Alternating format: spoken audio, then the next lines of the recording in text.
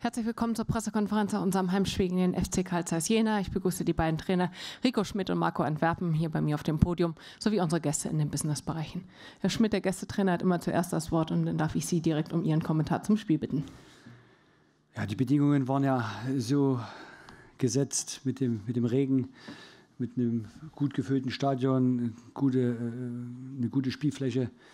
Äh, von Anfang an ein kampfbetontes Spiel. Beide Mannschaften haben sich 0,0 äh, nichts geschenkt. Ähm, und was mich riesig freut, auch für die, für die Jungs, für die Mannschaft, dass sie ihre äh, deutlich wieder besseren Trainingsleistungen dann ins Spiel rübergebracht haben. Und das war auch so der Ansatz. Äh, letzte Woche, das war in Summe äh, sagen wir, zu wenig oder, oder nicht gut genug, um, um zu punkten gegen Münster. Und das war so unser, Anspruch. Äh, wir haben es auch gezeigt, äh, auch in der Vorbereitung, auch in den, in den Spielen in der, der, Hinrunde, in dem einen oder anderen Spiel, dass wir es deutlich besser machen können, mit mehr äh, Leidenschaft, mit, mit einer anderen Überzeugung auch zu spielen. Und das haben wir von der ersten Minute an gezeigt, hat die Mannschaft das gezeigt, auch mit der einen oder anderen Spielidee, wie wir es vortragen wollen. Da waren sie sehr wach, sehr aufmerksam, äh, eine, eine, hohe kämpferische Einstellung. Der eine oder andere Ball, der dort geblockt wurde, ich denke da an Kröch oder an, an, an Fastnacht oder an Volkmar. Das machst du nur, wenn du online bist, wenn du im Match drinne bist. Und das hat sich dann so äh, durchgezogen in der ersten Halbzeit bis den, den einen äh, Aufwacher, den wir hatten, äh, wo, wo Braunschweig dort äh, so eine Halbchance hatte, äh, haben wir eine starke erste Halbzeit aufs, aufs Brett gebracht mit deutlichen Chancen plus, glaube ich, äh, auch mit einer unterm Strich dann auch verdienten Führung. Ähm, freu, also das war dann natürlich auch wichtig, dass wir in die Führung gehen bei den Brettern, die wir hatten, auch bei Obermeier etc. pp. Ähm, kurze dann Aufregung, wie das so ist. Ja. Mein Kollege hat das umgestellt, Systematik, zwei neue frische Kräfte, es sind ja auch dann äh, also Top-Personal mit, mit Broschwitz, mit Koboljanski dort getauscht, äh, neue Systematik 352. Ähm, da hatten wir erstmal eine Sortierungsthematik. Äh, ähm, das haben wir dann ein Stück weit kompensiert. Ähm, sehr wuchtig gespielt, Braunschweig, das muss man einfach auch zugestehen. Das ist die Heimmannschaft, andere Ansprüche, äh, überhaupt spielerisch stark, immer wieder auch mit ihren Läufen in die, in die Linie hinein, mit den langen Bällen, wo du immer wach sein musst, den zweiten Ball. Ähm, ganz, ganz ärgerlich und bitter, dass wir gefühlt in einer Unterzahlsituation dann aus dem Standard das 1-1 kriegen. Kolber ist verletzt, wird behandelt, geht rum, äh, geht rein ins, ins Feld, der Ball fliegt rein, ist noch gar nicht so richtig sortiert und daraus entsteht dann das 1-1.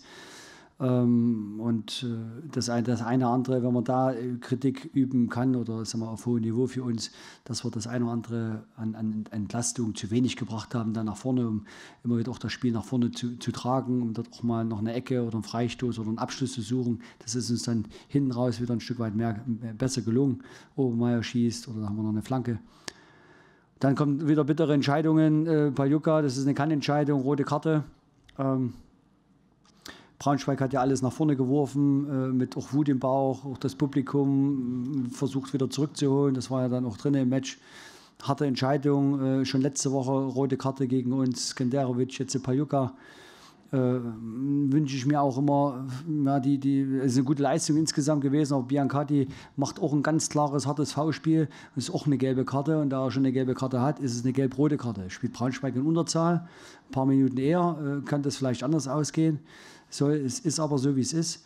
Und dann war es halt am Ende äh, zu pressen, den Punkt zu pressen, getauscht. Äh, und, und ich habe gerade unten die Knie angeschaut oder die, die Trikots angeschaut, die Stutzen, äh, nicht nur weil der Boden so war, sondern da hat sich jeder reingeknallt. Auch die Bank hat gelebt, äh, unsere Fans haben gelebt und in einer anderen Konstellation, in einer anderen Tabellensituation wärst du ja hochzufrieden, wenn du hier im Braunschweig in so einem Umfeld einen Punkt presst äh, und einen Punkt spiel, auf einen Punkt spielst und nicht nur einen Punkt, sondern vielleicht mit einem Quäntchen mehr Glück hätten wir sogar gewinnen können. Ähm, aber das für den Nachmittag eine starke Reaktion. Äh, tolle, äh, tolle Leidenschaft gezeigt. Äh, man hat gesehen, die Jungs haben Spaß, sich dort reinzuknallen, auch Fußball gespielt und äh, ein paar Verluste immer mit. Kolber gesperrt, Günter Schmidt, äh, Knieprobleme, verletzt raus, äh, eben die Sperre, jetzt bei Jukas Kenderovic, zwei Offensivkräfte. Das werden wir wieder äh, nicht nur versuchen zu kompensieren, das kompensieren wir. Und dann ist der Blick nach Zwickau gerichtet zum Heimspiel. Danke. Vielen Dank, Rico Schmidt. Marco, deine Einschätzung zum Spiel bitte. Ja, ich glaube, äh, ähnliche Problematik wie letzte Woche in, in München. Äh, wieder nicht gut ins Spiel reingekommen. Ähm, uns diesmal dann aber auch noch in Schwierigkeiten gespielt über, über unsere, unsere äh, Pässe, die, glaube ich, dann beim Gegner landen, die äh, praktisch eingeladen werden, dann äh, mit, mit schnellen Kontern zu agieren.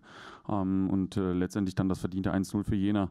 Ähm, aus, dem, aus, dem, aus der angesprochenen Problematik heraus, dass wir, dass wir einen Fehlpass spielen über Benny Kessel und dann mit einem tiefen Ball komplett ausgespielt sind. Ähm, ja, dann wird es äh, auch für uns schwierig, ähm, dann erstmal wieder, wieder zurückzukommen. Ähm, viele Dinge einfach komplett gar nicht aufgegangen. Und ähm, ja, da mussten wir im, im, in der Halbzeit ähm, einmal das System ändern, mit, mit, neuen Spielern dann spielen. Und äh, ja, es wird dann, wird dann grundsätzlich besser. Aber es kann ja nicht immer der Plan sein, 1-0 hinten zu liegen oder 2-0 hinten zu liegen und, und, und dann zeigst du eine Reaktion. Also wir wollten die Reaktion von Anfang an haben und die haben wir von vornherein nicht auf den Platz gebracht.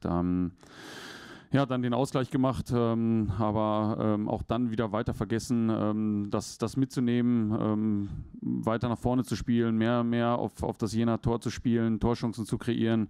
Ähm, die rote Karte kam spät und, und, und, dann haben wir auch viel mit langen Bällen agiert. Da hätten wir vielleicht auch nochmal die eine oder andere Situation besser ausspielen können.